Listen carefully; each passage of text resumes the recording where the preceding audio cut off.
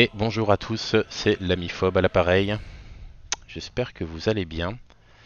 Moi ça va pas mal. Alors aujourd'hui on va se retrouver pour euh, une vidéo tutoriel pour aller chercher la lanterne le plus rapidement possible dans le jeu. La lanterne qui est plutôt pratique. hein. Euh, donc pour ce faire je vais reprendre mon personnage que j'ai utilisé dans la vidéo tuto pour aller farmer les runes très rapidement. Donc je vais reprendre le même personnage. hein. Si vous voulez voir euh, de quoi il s'agit, allez voir la vidéo en question.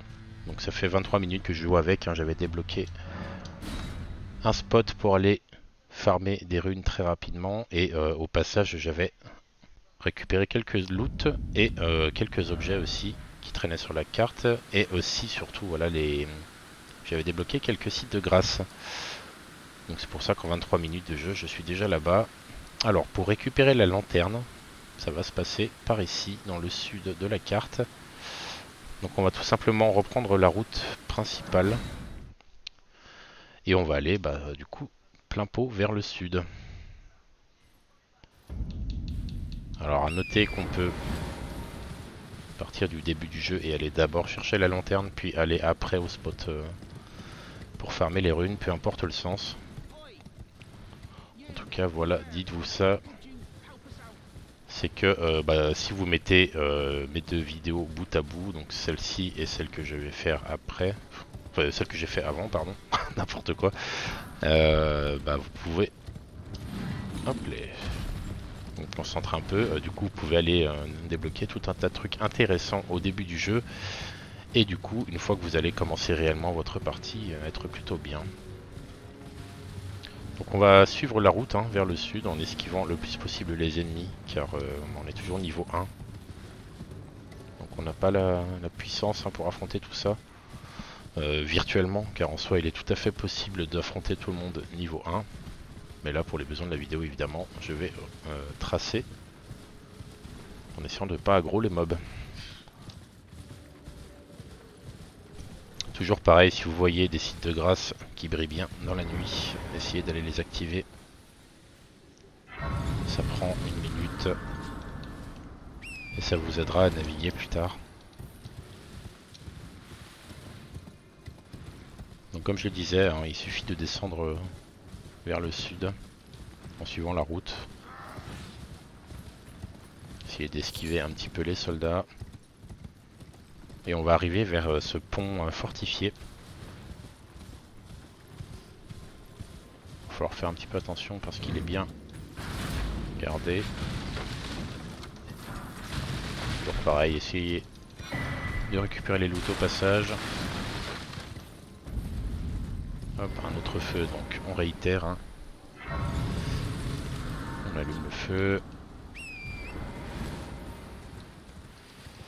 On trace, là il y a un PNJ, mais on va le laisser, hein. comme je le disais dans ma précédente vidéo, les PNJ euh, restent en stand-by, hein, sont quasiment inactifs tant que vous n'avez pas avancé dans l'aventure, soit en tuant des boss, soit en avançant dans les zones, euh, les zones majeures on va dire.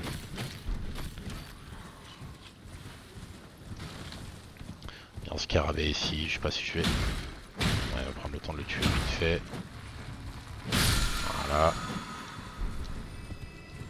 Donc on suit toujours la route. Hein. Attention au cavalier crépusculaire qui est là-bas. Et si on va un petit peu sur la gauche de la route, on peut voir qu'il y a un feu. Hop, donc on va s'y reposer. Enfin une grâce, hein. je dis toujours un feu.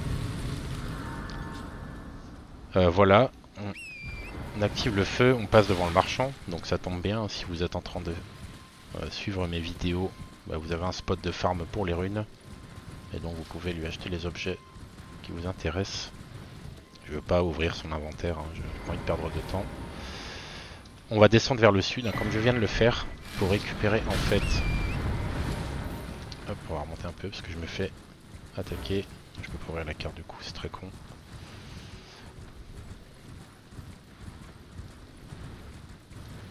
J'aimerais bien euh, ne plus être en combat en fait.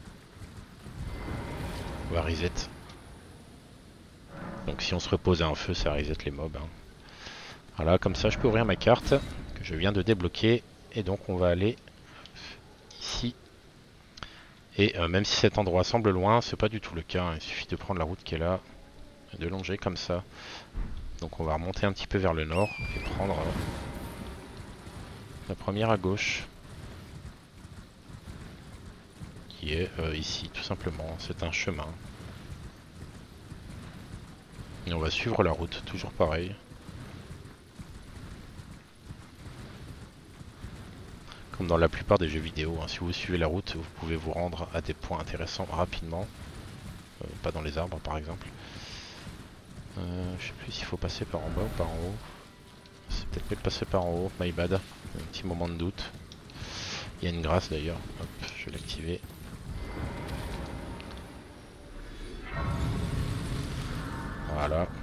Donc ouais, si on reste sur la route, on peut se rendre à des points rapidement, mais si on commence à naviguer à gauche, à droite, on va se rendre compte qu'il y a plein de choses cachées. Et voilà, pour la vidéo, on va juste tracer. Donc on passe sur ce pont, hein, on se dirige en plein ouest, hein, en suivant les grands axes. Sachant que même si j'étais passé par le bas, il y a un moyen de remonter par euh, ce tourbillon de fumée là.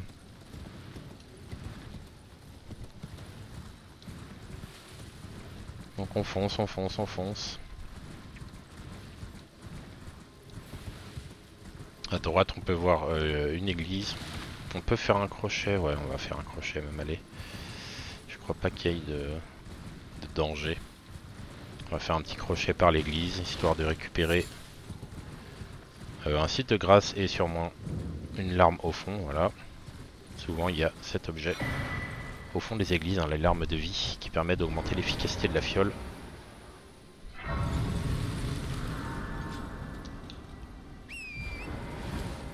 Tac, et on va ressortir de l'église, on va se diriger vers le, marqueur que j'ai mis tout simplement. Vous avez pu voir sur la carte, c'est un petit cabanon qui est dessiné à la main sur la carte.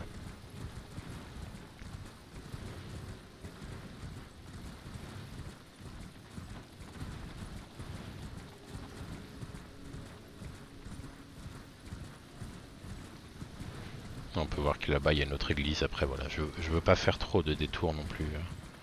J'essaye d'aller à l'essentiel.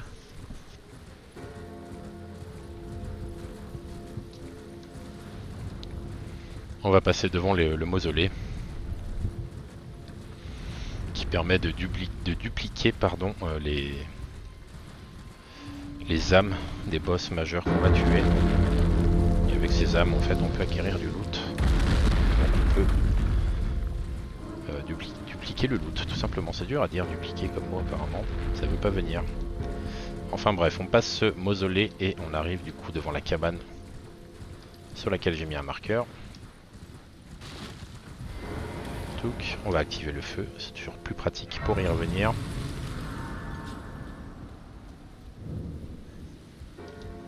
Bien que le triple s'en aille, c'est disgracieux. Et donc, ce marchand particulier nous vend la lanterne pour 1800 dollars.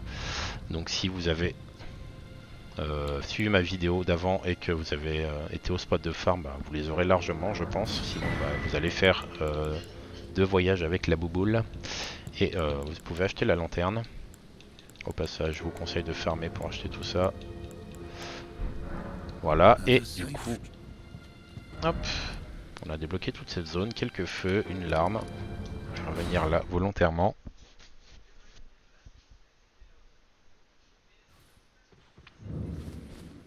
Et donc, euh, une fois qu'on est là, on peut euh, s'équiper de la lanterne, que moi j'aime bien mettre ici, mais après vous la mettez où vous voulez. Et donc l'avantage de la lanterne, c'est que on n'a pas besoin de bloquer une main pour l'utiliser. La torche éclaire un tout petit peu plus, notamment quand on la brandit. Sauf que, ben, effectivement, l'équipe, euh, elle utilise pardon, un emplacement de main, donc si on a un bouclier, ou si on joue un personnage ambidextre qui veut manier deux armes ou un magicien, etc., on est bloqué avec cette torche. Alors que la lanterne, voilà, n'utilise pas votre main et c'est vraiment vraiment pratique. Je vous conseille, évidemment, parce que je fais la vidéo, hein, euh, d'aller la chercher tout de suite dans le jeu, car euh, même si euh, vous allez explorer les premières grottes, ce sera très pratique de, l'avoir.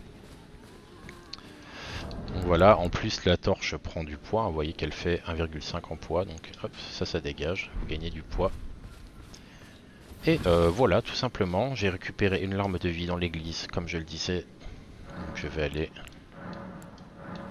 l'utiliser ici.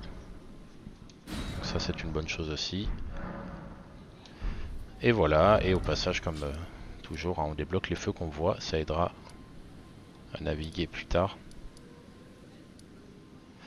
Et puis voilà, du coup, en fait, si vous mettez les, deux vidéos euh, bout à bout, hein, euh, en 20-30 minutes, vous avez trouvé un spot de farm au cas où vous avez besoin d'âmes en urgence pour acheter des objets ou faire quelque chose. Vous avez débloqué pas mal de feux, vous avez récupéré la lanterne, vous avez récupéré une graine qui permet d'augmenter la quantité de fioles, vous avez récupéré des larmes qui permettent d'augmenter la qualité des fioles, vous avez récupéré la fiole de salut miraculeux, pardon.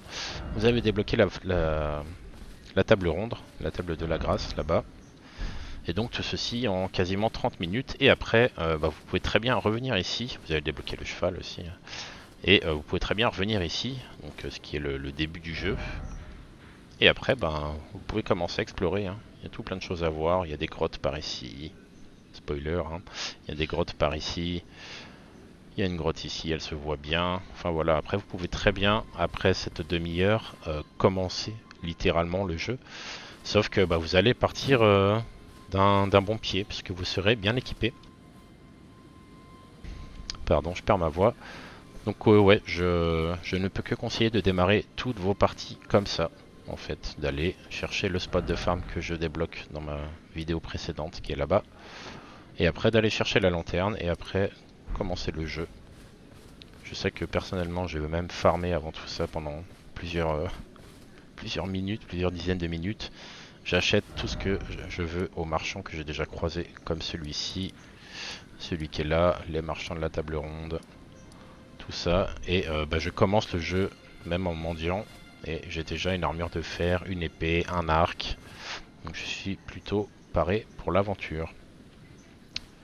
Et donc voilà, c'est comme ça que toutes les aventures devraient commencer, un full stuff avec euh, un sac à dos rempli à bord. En tout cas voilà, c'est ce je vous propose de faire dans mes vidéos. Après, libre à vous évidemment de jouer tout autrement, de partir à poil à l'aventure. Chacun joue comme il veut. Et donc voilà, euh, bah, du coup je vais vous laisser là pour ce tuto. Je, je vous remercie de l'avoir regardé et puis je vous dis euh, sans doute à bientôt pour de nouveaux tutoriels ou de nouvelles aventures. Allez, salut